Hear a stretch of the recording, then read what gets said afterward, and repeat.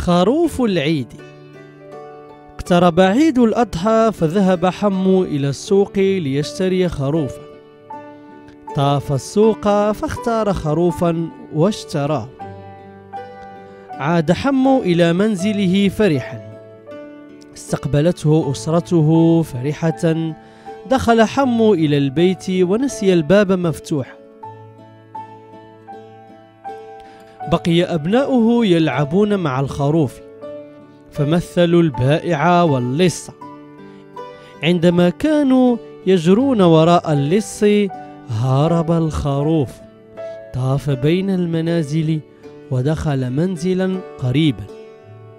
في هذا المنزل تعيش أرملة مع أطفالها فرح الأطفال بالخروف وصاحوا وهم يقفزون. خروف العيد هذا خروفنا. قالت الأم هذا خروفنا؟ من جاء به؟ خرج حمو مسرعا ليبحث عن الخروف. في طريقه سمع كلام الأم وثغاء الخروف.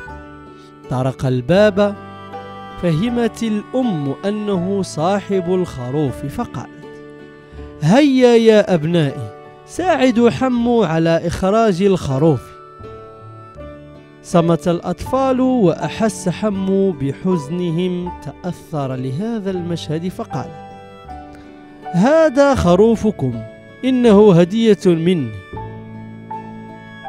في الأسبوع الموالي عاد حمو إلى السوق.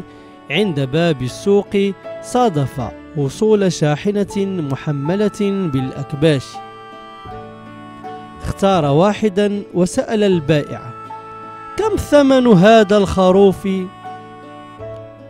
رد البائع مبتسما أنت رجل طيب خذه مجانا وقف حمو متعجبا وظن البائع يمزحه تابع البائع كلامه أنا لا أمزح هذه وصية أبي في كل سوق نهدي خروفا لأول زبون فهذا خروفك وبدون مقابل.